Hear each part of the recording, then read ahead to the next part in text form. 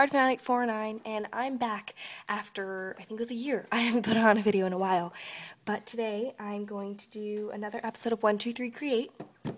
Um, so the card I'm making today is inspired by Kristina Werner, the technique that I used, and it's a happy birthday card. So I'm going to link her channel down in the down bar if I can but I'm also going to try to link the video to how she showed how to do this technique. Um, I don't remember what she called it, but it's really cool. It kind of just looks like the flowers are popping off the page. Um, something, I think the video was called, the technique at least was called like white with color over or something like that. I can't remember the name, but i will try to link the video down down below. But if I can't and I don't find out how to link it, um, just type in Star of May's channel and you'll be able to find the video. Just scroll down her videos and you'll see um, something like this, but she doesn't use a flower stencil. But I'll try, I'll really try to figure out how to link her channel and the um, video as well, because I really like Kristina Werner. Um, she works for Simon Says, uh, Simon Says Stamp, I believe. So, to do this, I'm just going to quickly tell you what I used. I used this stencil, I believe it's from Walmart. You can use really any stencil, but I just used the flower one. And the inks I used to create this, I used these Stampabilities pastel yellow. Is that the color? Yeah, pastel yellow pigment ink pad for the yellow down here, like you can kind of see. um, I used the Colorbox Paint Box Fluid Chalk ink pad. I don't know, what ink pad did I use out of this? I used this one. I used French Blue for right here. And then for the top color, I used Colorbox Archival Dye ink pad in Dark Cherry. And how I got the purple is by blending the blue and the dark cherry one together. So really play around with the colors because I'm sure you'll create your own. Um, but yeah, it was really fun to do it, and you just need a little bit of masking tape. But she'll show you how to do the technique, so I'm going to try to link the video down below. Okay, so I just started with the craft base. I did the technique. Then I grabbed my DCWV textured cardstock stack. I don't, I've never really heard of this brand, so um, yeah, I just had it lying around, and it's in the brights. And I'm using a purple piece of paper out of it because I wanted to pick up the purple. And you can see I just stamped this happy birthday stamp on it, and then I cut it to fit, and I did this little stencil so I know how to cut the little um, flag shape end. The stamp I used, I, it has no brand name, which is so stupid. Um, it says Momenta 2013. I'm really, I'm really not sure. Um, hopefully it's focusing part way for you. Probably not. Um, but it had no brand name. I just found it in Hobby Lobby one day and I loved the way it was set out. It was a really like fun way of saying happy birthday. So I used that and the white ink pad I used was the archival pigment ink pad in uh, the Brilliance line and it was Moonlight White. And this is an amazing white ink pad. Definitely pick this up if you um, if it's sold where you live. It's just a really good ink pad. So once I made that little flag shape, or the ribbon, yeah, not flag, I'm sorry, the ribbon tail end, I'm just going to cut it out here.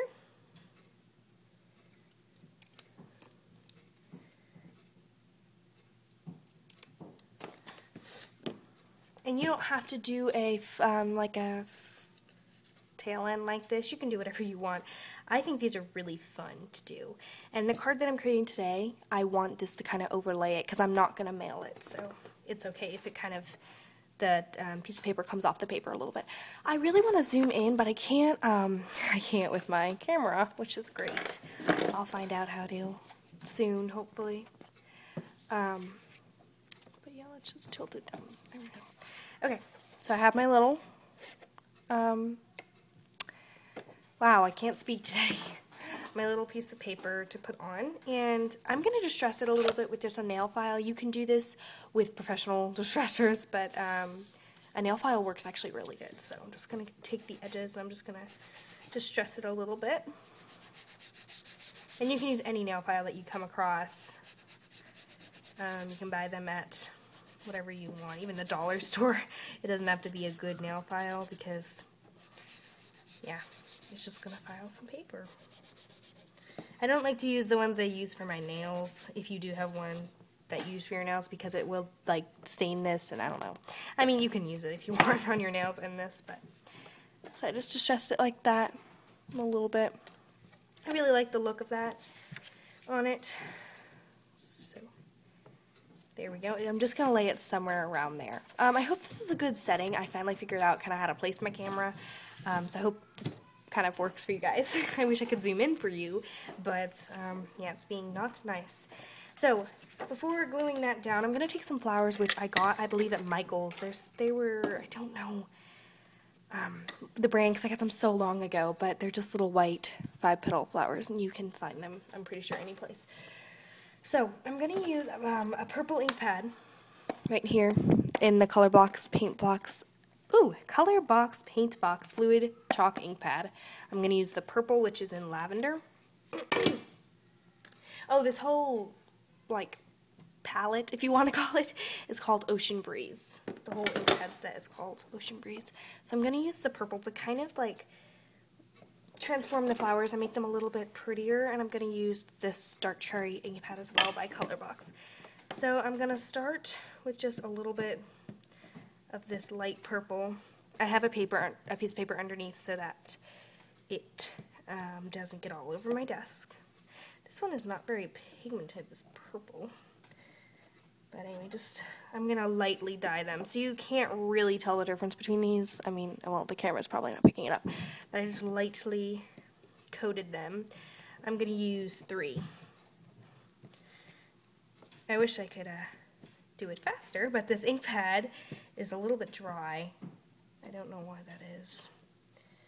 Sometimes, um, I think it's just the, like, this is a year old, this ink pad, so I think, um, it just gets dried out over time. okay, so I just used the light purple to do that. And now I'm going to take the dark purple and I'm really going to just touch the ends of the flower with it and kind of, I mean, you can do whatever you want. I hope you can, ugh, this camera, it needs to pick this up, but it kind of just went on the edge there. Once I finish this little flower, and do the complete flower, I'll show you um, up close. I just want to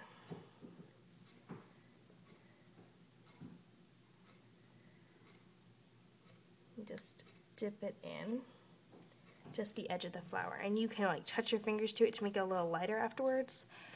But it's gonna look something like that. You just can do whatever you want. Don't try to make a hard line so they can see where you stopped using the ink, which I kind of accidentally did that with one petal.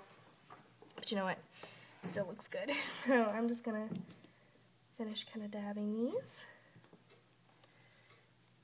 Like so. And you can use any, um, any colors you want because it doesn't have to be purple. I tried to stick with purple because the card I'm doing is for a girl. I mean, you probably picked that up with all the flowers. but um, I kind of wanted to pick up purple and use that as my main color. I try to do that with my cards, um, find a color that I want to really work with for the whole card and try to focus that color the most. So purple was trying was the one that I want to kind of focus on today. But if you were doing a different card and say you wanted blue to kind of focus on, then you would just try to pick up blue in as many places as you can. So I really like this ink pad too. It's like a kind of a burgundy red. Okay, once you're done dyeing your flowers, I have three right here. I'm going to get some flat back pearls. You do need flat ones for this, and I'm using the Paper Studio little gemstones. These are great. They're not um, expensive, so they work great for all projects just like that, and just place a little pearl in the center. You don't have to do that, but I'm just going to go ahead and place a little pearl in the center. It makes the flower look a lot better. If you don't want a pearl, you could do um, a diamond flat back, you know, like a shiny one instead of just a pearl. But I really like using pearls in the center of my flowers. Just, did I lose the stickiness? Yeah. Sometimes it's hard to pick it off the strand because these are all connected. Sometimes you lose the stickiness to one. okay, so I have my three little pearls in the flowers. Now I'm going to glue down this little, um, the tag that I'm using with my staying on it. I'm sorry, I forgot to plug my glue gun in, of course, so it's just going to take a minute to heat up. But um, I'm going to take the tag and I'm going to glue it down with some 3D, 3D foam thingies because these are a little easier to use and they give it a 3D effect. Hold on, I'm just going to get the bigger ones. And it just, it lifts it off the page so it gives your card dimension. So I'm just going to add uh, probably five-ish, maybe six, since it is kind of a long tag. I ended up adding quite a lot. I'm just going to peel the backs off. I don't know the brand of these 3D foam um, squares, but I got them in a set, a card making set, I believe, so I don't know what brand they could have been. Somewhere in Michael's I got them. and you're just going to place your little sentiment on your card. And I like to kind of just take the ends of my flag or little tag um, to pick it up a little bit to give it more dimension. If you're not mailing it, you can do that. If you're mailing it, it's a little harder, but yes, I like doing that.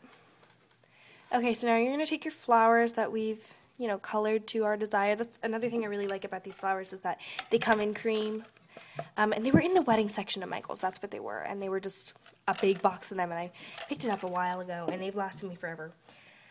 Um, but I like that they're cream because I can change them whatever colors I want. I hope that the color is picking up. Um, you can see it that way better.